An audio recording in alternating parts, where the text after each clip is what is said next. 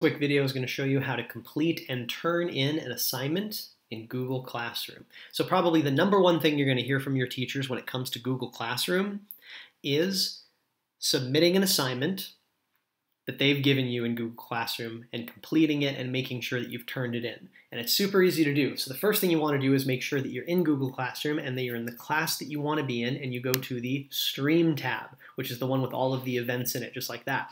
Now, the assignment for the day should probably be probably the first one up here at the top. And you can see right here, I've got the world's easiest homework assignment and it's marked as not done. So this is what I want to complete. And I'm going to do that by clicking on the title.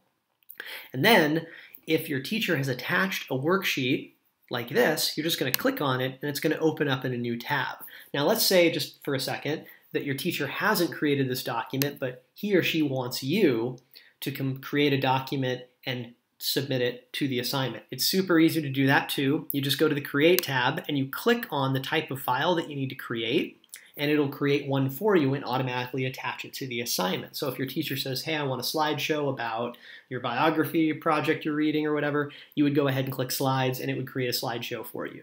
Um, you can also, let's say that you've created something on your home computer and it's a PDF or something like that in your drive, you would click the add button and you can either add a file directly from your drive if it's already done or attach it with this right here. So there's a couple of different ways to add something to this. But for this, your teacher's already created this awesome, easy assignment for you. So you're going to click on it and of course you're going to fill it in. So I'm going to go ahead and finish this assignment.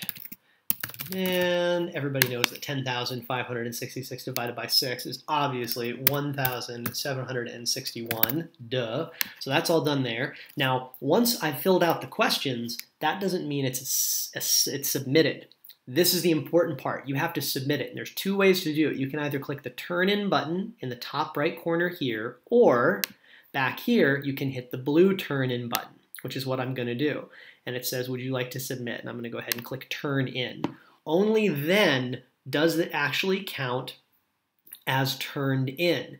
And something you also want to remember is if you've submitted an assignment and you've got the little done button right here, and if I go back to my stream, you'll see that it's done. I can't edit this unless I unsubmit it first. So it's kind of like once you've clicked the turn in button, it's like putting it on the teacher's desk.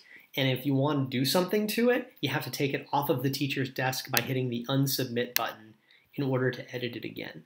Does that make sense? That's pretty much it. And then once you've made your changes, you can go ahead and turn in again, and there you go. So super simple to do, but really important that you hit that turn in button and that when you finish the assignment that you see it saying done here. If you do not see this, it means the teacher probably doesn't have it.